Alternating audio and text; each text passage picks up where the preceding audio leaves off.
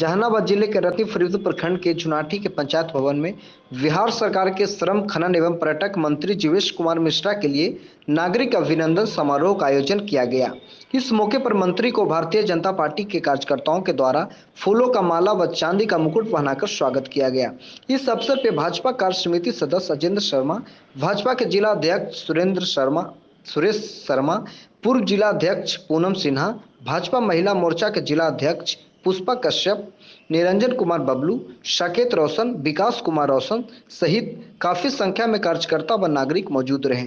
इस मौके पर मंत्री जीवेश कुमार मिश्रा ने क्या कुछ कहा, देखिए खास रिपोर्ट में। कार्यक्रम आज यहाँ के ऐतिहासिक स्थल को देखना हमारा उद्देश्य था। पहले से विभाग में इसके बारे में कुछ इसको पर्यटक स्थल बनाया जाए, ऐसा कोई यहाँ के स्थानीय लोगों का पत्र समर्पित था।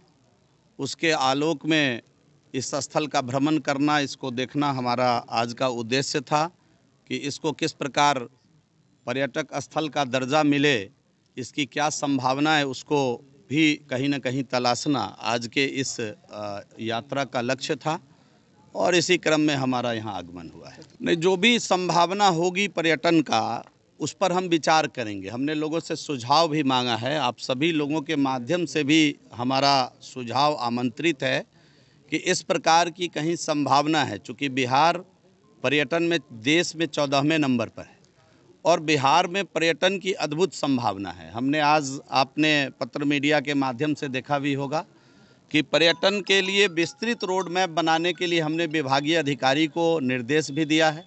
और उसका ब्लूप्रिंट तैयार करके 90 दिनों में जहाँ जहाँ संभावना है पर्यटन की, उस पर हम काम प्रारंभ कर लें तो बेहतर होगी, जिसको जनता ने आशीर्वाद देकर सत्ता में बिठाया है, उसकी सरकार पाँच साल अवश्य चलेगी और चल के ही रहेगी। तेजस्वी को अपने पिताजी और अपने माताजी से पूछना चाहिए कि बिहार के अंदर 90 से 2005 तक क्या था?